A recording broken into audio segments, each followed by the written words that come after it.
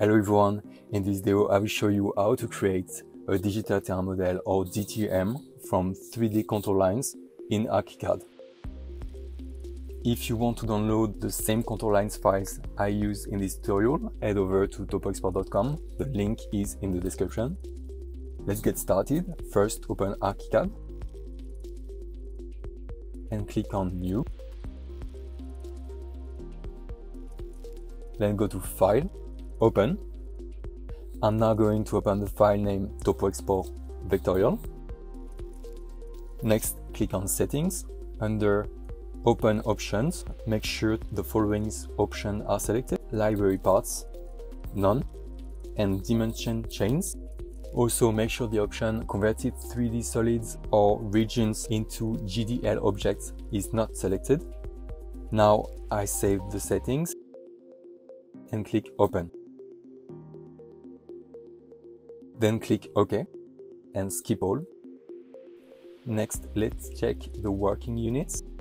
Go to Options, Project Preferences, Working Units.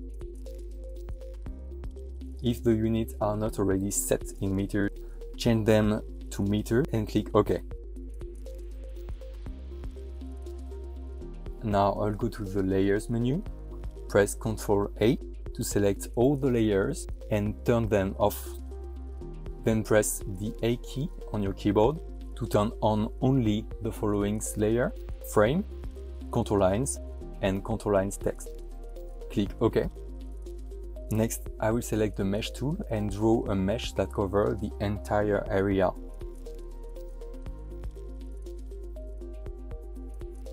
I select the mesh I just created, press Alt to activate the pipette, and press the spacebar.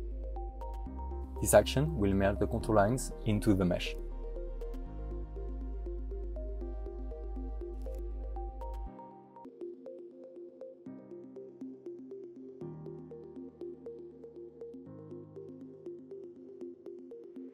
Now we are ready to assign elevation to each contour lines. To do that, I double click on a contour line so that both the line and the mesh are selected. You will see them highlighted together.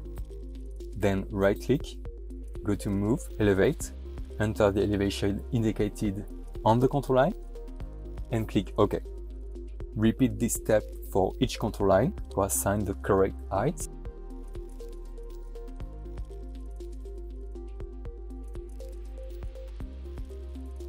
Once we are done, go to the 3D view and check the results. And there we go. As you can see, our 3D terrain model is now ready. Thanks for watching, don't forget to like and subscribe for more ArchiCAD tutorials.